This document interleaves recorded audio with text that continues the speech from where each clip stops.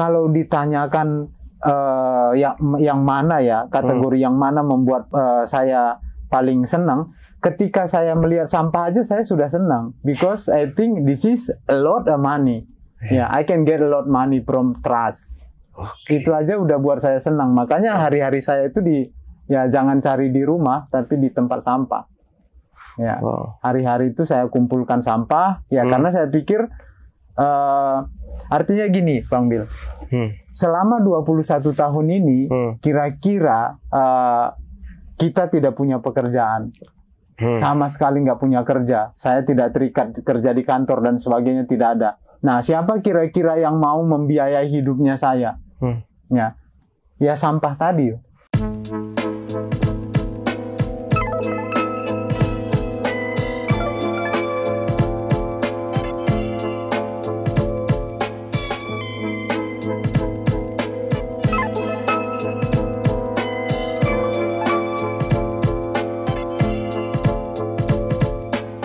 Yo, welcome back bersama gue Bill Muhdor di Art Corridor di mana kita bahas seni sampai ke dalam-dalamnya. Hari ini bintang tamu spesial as usual. Ini salah satu seniman yang banyak berkontribusi dalam berkembangnya kebersihan lingkungan hidup di Indonesia. Dan beliau juga banyak menggunakan media sampah sebagai satu bentuk art piece. Langsung aja kita ngobrol langsung sama Bang Edi. Bang Edi apa kabar? Halo, selamat malam By the way, ini namanya Bang Edi Art Studio. Kalau lo mau cek di Instagram, Twitter, TikTok, whatever you want, kita taruh descriptionnya di bawah. Bang, gimana Ya. Bang? Apa kabar nih? Amin, saya kabar baik. Ya, saya coba perkenalkan diri dulu. Eh, nama saya Edi Suranta Ginting. Saya berasal dari Brastagi, Tanah Karo, Medan, Sumatera Utara. Tetapi kegiatan saya sejauh ini eh, kurang lebih 21 tahun ini saya keliling Indonesia lebih ke arah eh, edukasi soal lingkungan, terutama dalam hal pemanfaatan limbah menjadi sebuah karya seperti itu dan uh, memadukan seni dengan edukasi bahasa asing juga sedikit-sedikit supaya anak-anak di pedalaman itu tidak uh, kalah dengan anak-anak di kota. Jadi seperti itu. Cuma kalau di sosial media mungkin teman-teman lebih akrab menyebut saya Edi Art Studio seperti itu kira-kira. Wih, mantap. Jadi Bang Edi juga bukan cuma di seni tapi juga mengedukasi di bidang environment dan juga bahasa ya, Bang? Iya, benar Keren benar, banget. Bang Bil, ya. Itu startnya dari mana sih, Bang? Bisa mulai tergerak ke sana itu? Ya, baik. Eh, kebetulan karena saya dulu dengan orang tua sering pindah-pindah dan Hmm. terakhir eh, ketika saya mulai sekolah atau eh, SD lah kita katakan, nah saya sempat tinggal di pedalaman. Nah jadi saya mau sekolah aja itu harus jalan kaki 10 kilo setiap hari. Wah. Nah, jadi jalan kaki, uh, tinggal di desa yang sangat terpencil, itu belum layak disebut desa karena rumahnya cuma dua saja ya. di dalam itu Ya, daerah. iya, cuma dua aja, uh, Bang Bil. Nah. Itu di daerah Aceh dulu ya, daerah Oke. Aceh. Nah, jadi mungkin karena uh, saya saya pribadi punya pengalaman-pengalaman Hmm. seperti itu, uh, itu langkah dasar saya untuk memulai kegiatan-kegiatan untuk masuk ke daerah-daerah pedalaman seperti itu, Bang.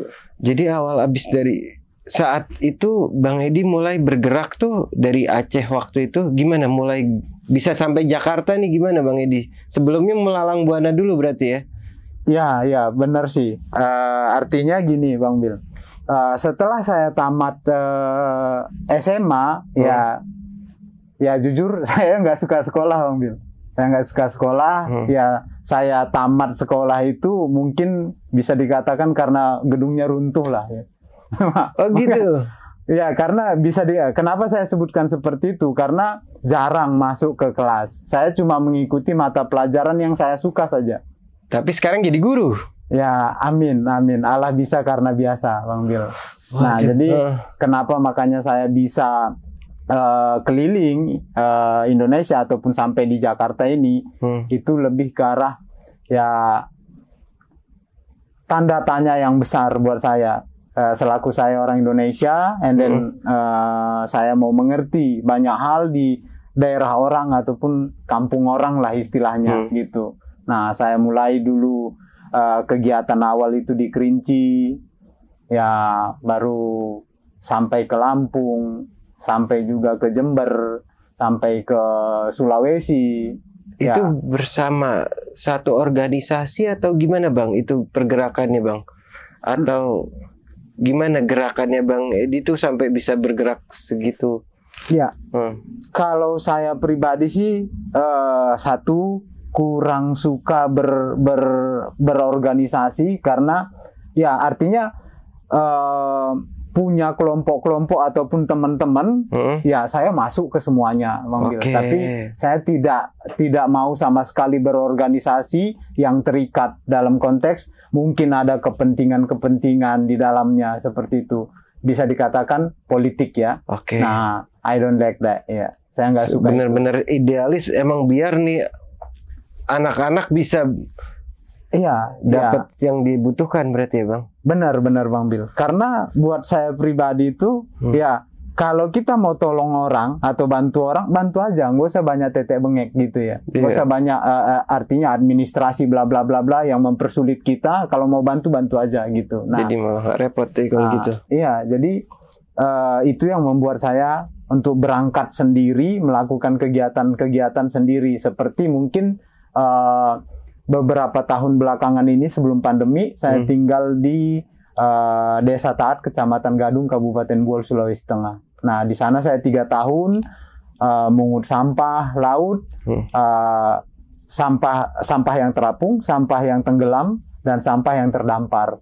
Nah, jadi sampah-sampah ini eh, justru kita buat menjadi rumah sebagai wadah belajar dan berkreasi bagi anak-anak eh, di daerah tersebut. Hmm. Nah, di situ kita coba juga ajarkan ke anak-anak untuk mengenal bahasa asing, Hmm. ya sebab pentingnya bahasa asing eh, zaman sekarang ya. Hmm. Nah, tapi kita punya sistem Bang Bil di Iya. sana. Mereka harus bayar Oke. ketika mereka mau belajar anak-anak ini. Hmm. Bayarannya yaitu sampah. Nah, Bayarannya pakai sampah. sampah. Jadi Wow. mereka datang ke kelas kita sebut jungle class ya. Ya. Nah, jadi mereka datang ke kelas kita itu bawa sampah yang dipungut dari desanya mereka sebagai bayaran untuk kita Hmm. dan sampah mereka itu kita olah kembali menjadi eh, sesuatu hal yang bisa menghasilkan seperti itu. Karena tidak lain tidak bukan permasalahan seluruh eh, rakyat Indonesia Iya. adalah ekonomi. Nah. itu. Bang, orang udah pada paham sampah satu masalah yang besar. Ya. Tapi sebesar apa sih bang nih masalah? Maksudnya Bang yang Edi nih yang udah sampai ke dalam itu, gimana ngelihatnya? Sampah tuh separah apa sih sekarang kondisinya?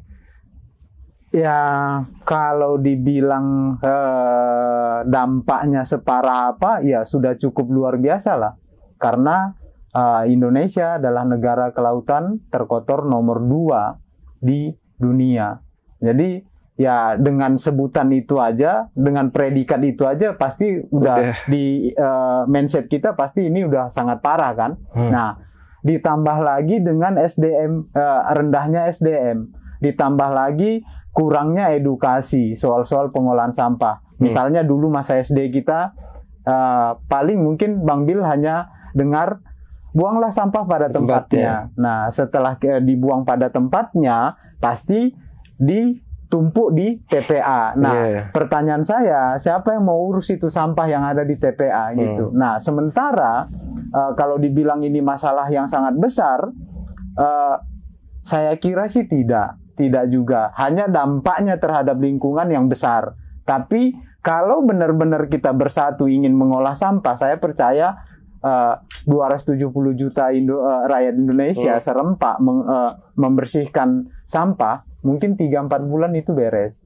Nah, tapi sampah ini kira-kira mau kita buat apa? Dijadikan apa? Nah, makanya di sini eh, saya coba untuk berbagi nih, Hmm. berbagi. Nah, bagaimana cara kita eh, menarik minat orang, Hmm. eh, untuk mau memanfaatkan sampah mereka gitu. Nggak harus lukisan aja kan gitu. Iya. Makanya di sini eh, seperti inilah misalnya. Hmm. Nah, jadi saya jadikan sebuah lukisan supaya Oke. orang lihat, oh ternyata sampah bisa, Bisa loh jadi. jadi. begini gitu, gitu kira-kira. Jadi satu hal yang indah ya. Nah, Iya. dari beberapa movement yang Bang Edi lakukan, Hmm, berarti kan Bang Edi ada movementnya salah satunya bikin rumah dari sampah, iya. bikin lukisan, terus bikin beberapa hal lain kan Bang Edi dari Iya. sampah ini. Patung, Patung, iya, segala macam. ter, beton, minyak seperti itu. Mana yang menurut Bang Edi dari penglihatan Bang Edi nih Hmm. yang impactnya paling besar, yang you happy when you make it gitu kayak. Eh, kalau ditanyakan eh, yang yang mana ya kategori yang mana membuat eh, saya paling senang ketika saya melihat sampah aja saya sudah senang because I think this is a lot of money ya I can get a lot money from trust Oke. itu aja udah buat saya senang makanya hari-hari saya itu di ya jangan cari di rumah tapi di tempat sampah ya Wow. hari-hari itu saya kumpulkan sampah ya Hmm. karena saya pikir eh artinya gini Bang Bil Hmm. selama 21 tahun ini Hmm. kira-kira eh, kita tidak punya pekerjaan Hmm. sama sekali nggak punya kerja saya tidak terikat kerja di kantor dan sebagainya tidak ada nah siapa kira-kira yang mau membiayai hidupnya saya Hmm. ya ya sampah tadi Jadi sampah di- tadi yang membiayai hidup saya sampai saya bisa di posisi seperti saat ini Wow. gitu 21 tahun dibiayai sama sampah Bang. gitu. Iya, benar. Jadi rumah juga bisa Hmm. dikatakan kita beli hasil dari sampah, tanah juga dari sampah, semuanya. Ya, itu makanya saya coba selama ini di eh, apa ya artinya aktif di sosial media itu ngajakin orang bukan se- sebatas ya supaya followers banyak, Iya. ya itu ya. Saya pingin, ayo sebenarnya eh, eh, banyak orang kita mengeluh kan, orang Iya. Indonesia itu banyak mengeluh Gak punya Eh, duit. susah cari kerja, nggak Iya. punya duit, susah makan, apa segala macam. Sementara di depan mata tuh Ada you have a lot money ya. Hmm. Tapi mereka tidak mau melakukan. Ya banyak orang bilang, iyalah Bang Edi, kamu kan bisa melukis. Hmm. Apakah hanya dengan lukisan saja kita bisa mengolah sampah? bisa Gitu. dengan banyak Nah. hal ya Bang. Ya, ya contoh lah misalnya Bang Hmm. Bil sendiri adalah pekerja seni ya, artinya pelukis, Hmm. pelukis ya, pelukis muda Indonesia, ya sama profesi kita sama Bang. Hmm. Nah, kira-kira ya kalau kita kalkulasikan lah sekarang Hmm. harga cat berapa, Betul. ya kan? Berapa Rembrandt misalnya, Oh, iya. boleh merek nih, Boleh, nggak apa-apa bebas. nih ya, ya Siapa pokoknya? Hmm. oil misalnya ataupun eh, akrilik Iya. misalnya, jadi Bang Bil pasti tahu harganya. Akrilik bisa 200, 300, Nah, bisa kalau- 100 kalau yang satu iya. sudah 350-an mungkin. Satu warna. Nah, Windsor ya kan? Iya. satu warna satu odol ya. Iya, satu Nah. odol itu juga. Plastik free. Hmm. Plastik itu free, Iya. sangat free. Ya. Jadi kita sangat dibantu kan Hmm. untuk color udah jelas. Apa tinggal apa yang eh, kita beli? Hmm. Kanvas doang. Ya udah. Itu aja. Jadi benar-benar 50% persen kekat ya, ya. Dikat. Bukan 50% bisa dikatakan 80 Iya. eh, Karena- 80 90 persen. Iya, karena di sana kan tingginya. Ya itu. Kalau secara edukasinya nih, Bang. Iya. Gimana cara solusi yang terbaik buat mengatasinya nih? Biar kita bisa orang lebih banyak aware tentang ini gimana menurut Bang Edi? eh yang pertama kita harus memang memang susah ya, sulit sulit sulit sekali Hmm. Eh, karena ini sudah terkait kepada mental. Makanya aku sejauh ini lebih mengarah ke anak-anak supaya generasi muda saat ini mulai belajar sejak dini tentang apa itu sampah, apa dampak sampah, apa manfaat sampah.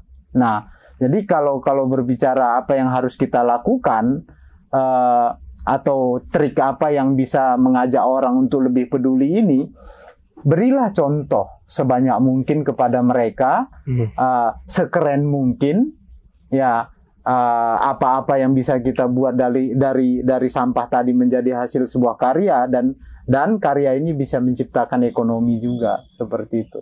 Bener sih bang, kalau bang Edi ngomong gitu kayak maksudnya gue juga ngelihatnya eh, kalau di luar negeri tuh orang udah malu mau buang sampah nih ada kayak Malu plus takut. malu plus takut iya Denda. Iya. Denda. satu denda dan dianya sendiri kayak biar di jalan yang gelap dia juga agak malu kayak gimana udah udah kebiasa kan kebiasaan itu sih sebenarnya Bang Bil. Jadi, nah karena kita, Hmm. apalagi eh, misalnya anggaplah eh, generasi kita Hmm. seumuran kita ya ke atas, oh, ke atas itu ya mereka eh, orang-orang dulu ya yang menganut ilmu-ilmu dulu atau pemahaman-pemahaman dulu. Jadi dengan luasnya semesta alam ya menurut mereka itu ya buang aja gitu, Aman. buang aja sampah aman aja. Makanya eh, banyak mindset orang kita itu eh, membuang sampah ke sungai Ya. karena menurut mereka itu hanyut. Mereka nggak pernah berpikir sejauh apa nih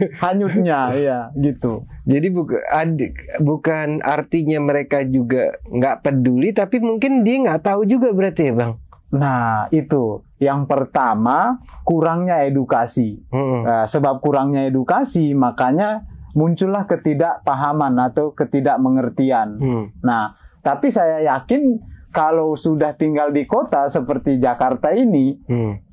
bullshit kalau orang nggak tahu apa Iya. dampak sampah. Iya. Tapi apa yang terjadi? Masih tetap banyak karena ah, di sinilah pentingnya kita berko- eh, bersinergi ya, berkolaborasi antara pemerintah dan masyarakat. Nah, di sinilah peranan pemerintah mengedukasi, memfasilitasi Hmm. ya bagi eh, masyarakat yang peduli Hmm. ya soal-soal eh, pengolahan sampah dan dampak sampah dan eh, sebagainya lah Hmm. begitu. Nah, eh, karena ketidakpahaman ataupun eh, tidak ada sistem yang berjalan, misalnya con- contoh begini, Bang Bil, Hmm. Eh, ketika tidak ada tindakan ataupun sebuah denda, eh, sanksi ya sanksi ya, sanksi. Nah, kepada orang yang melakukan pelanggaran atau pembuangan sampah, otomatis itu akan tetap berjalan. Kalau Nah. menurut Bang Edi sendiri, pemerintah di saat ini tuh gerakannya segimana bagusnya, Bang?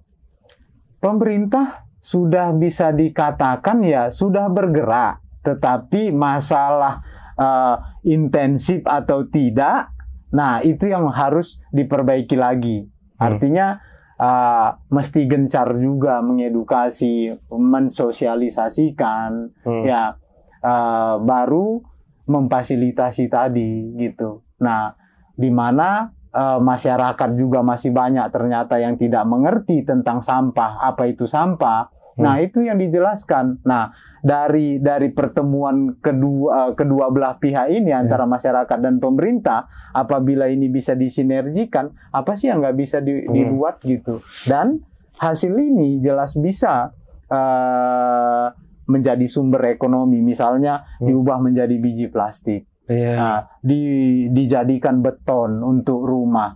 Apakah eh, banyak orang berpikir mungkin apakah mungkin kuat plastik eh, jadi Hmm. Beton. jadi beton? Ya, 50 kali lipat lebih kuat dari beton, Wow. dari semen. Iya. Itu. Cuman kurang diedukasi aja mungkin ya. Bang. Ya, benar, benar Bang. Bang, by the way nih saat Abang Edi ini menggunakan sampah sebagai media art Bang Edi sekarang Iya. ini. Pengalamannya gimana Bang? Apakah ada orang yang menganggap remeh atau gimana? Ya, kalau itu yang Bang Bil tanyakan, Hmm. sampai sekarang juga masih diremehkan. Ya, Kayak gimana tuh Bang? Kalau Iya. boleh cerita Bang. misalnya kita Hmm. nggak pakai sendal nih, Hmm. udah bawa karung Hmm. di jalan mungut.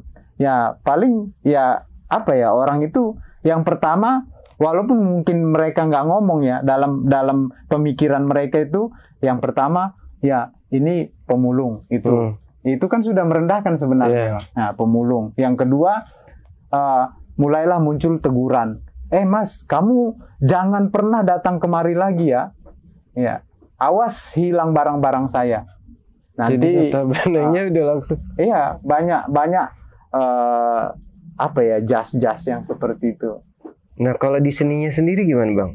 Kalau di seninya sendiri, Saat media sampah dijadikan seni. seni, ya. Kebanyakan kita itu hanya melihat ending, tidak pernah melihat proses. Bagaimana cara kita menjadikan sebuah karya seni itu, Hmm. mereka nggak peduli. Yang mereka pe- perlukan itu eh, Hasil akhirnya. hasilnya. Hmm. Orang cuma ya artinya mungkin Bang Bil juga mengalami Hmm. itu karena Bang Bil juga Iya. seorang pelaku ya, bukan bukan hanya sebatas penonton ya. Nah, Hmm. orang cuma bilang keren karyanya Bang, bagus, mantap. Eh, udah jenuh, capek ya. Iya, makanlah itu pujianmu. ya sekarang kalau kamu tahu ini keren, sampah ini bisa jadi keren, kenapa nggak kamu buat gitu loh? Iya. itu aja itu yang kadang eh, apa ya agak cetar juga ya pingin pingin nyampein itu bang ya kenapa kamu eh, cuma jadi penonton kenapa kamu nggak jadi pelaku gitu ya itu makanya saya coba ngajak ayo ayo udah dua tahun live ini ya. Nggak ada satupun yang belajar bang. Masa bang? iya iya nggak ada. Padahal udah tahu beneficial. welcome Oh, ya. Dan kita udah welcome nih ya. Ayo datang ke rumah gitu kalau mau belajar. Ya sampai sekarang nggak ada Wow. gratis lagi ya Gratis. ya kita kasih makan lagi ya Susah kan? Nah, jadi gimana Bang? Apalagi kalau kita suruh mereka ngumpulkan sampah 30 ton, 40 ton. Mestinya jangan ga- gratis kayak di sana kemarin. Nah. Suruh bayar pakai sampah. bayar ya. sampah. Harus bayar ya. Tapi kalau di Jakarta bayar pakai uang lah bang. iyalah. Heeh. Kayaknya harus mahal nih kita bayar, eh, suruh bayar ini Bang ya. Nah itu dari sementara ini bang, yang aware dan suka sama karya bang Edi ini, itu golongan apa sih bang kalau boleh tahu? Apakah di dalam negeri atau orang biasa atau malah jadi politikus atau malah jadi bisnismen atau dari luar negeri dari kalangan apa kalau boleh tahu bang? Ya.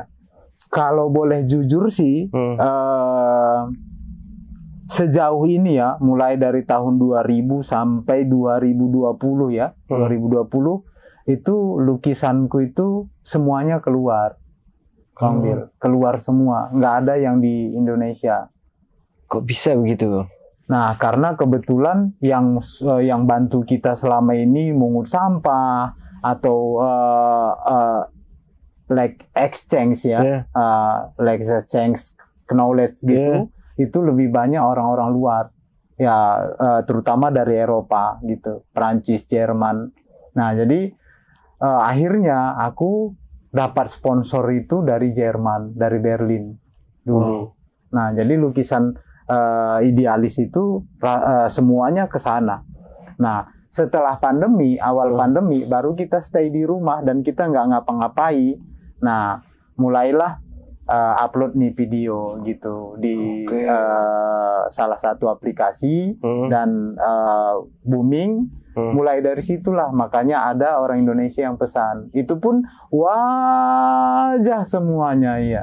Ini loh Bu, saya mau buat keren nih sama kamu. Kenapa kamu nggak mau gitu ya? Begitu. Karena benchmarknya mungkin berbeda kali ya, Bang. Nah, kalau di Eropa eh, eh, ke luar negeri Hmm. itu orang cuma sa- eh, satu hal yang mereka sampaikan Bang Bil ketika mesan lukisan sama kita. Hmm. Saya mau lukisan kamu. Saya mau lukisan Anda. Udah, dia nggak ngasih tahu dia mau lukisan apa, tapi dia minta apa yang kita pikirkan sekarang. Jadikanlah Jadi- sebuah karya.